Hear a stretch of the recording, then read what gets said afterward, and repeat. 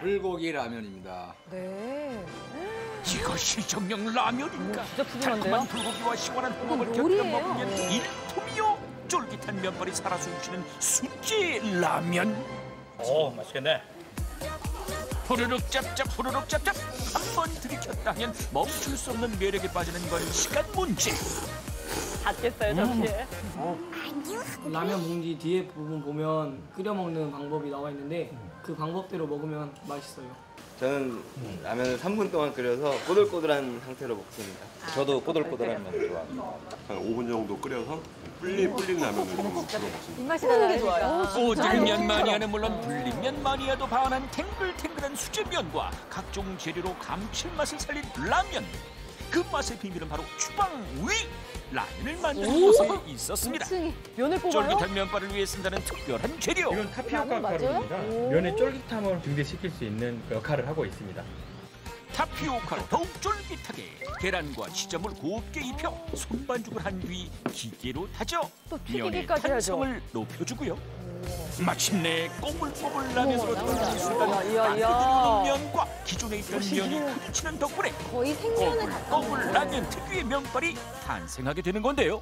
라면을 이렇게 직접 두께가 만드는 굉장히 건 중요합니다. 처음인데요. 1mm에서 1.2mm 정도로 두께로 볶고 있습니다. 호로록 짭짭하게 먹기에는 딱인 것 같아요. 설명이 딱이네요. 이제 꼬불꼬불한 면을 찌고 튀기고 이야. 구워서 건조하는 과정까지 쫄깃함을 입힐 3단 작업 끝에 비로소 탄생한 수제 라면. 게 처음 봤어요. 기름은 쫙 빼고 담백함과 쫄깃함을 더해 더욱더 맛있는 라면으로 거듭 태어날 텐데요. 이거만 먹어도 100인분 맛있겠죠. 정도 네. 양이고 매일매일 만들어가지고 사용하고 있습니다.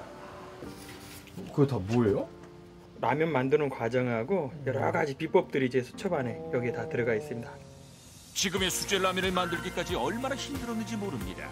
오랜 시행착오 끝에 비로소 손님들 입맛 저격한 수제면과 감칠맛을 더할 천연 양념들을 개발한 건데요. 이어 불맛 익힌 불고기와 라면을 곁들이는 것도 오랜 연구의 결과물 되시겠습니다. 필요하네요. 준비하시는 게 뭐예요? 밑간 야채 스프. 야채, 야채 스프.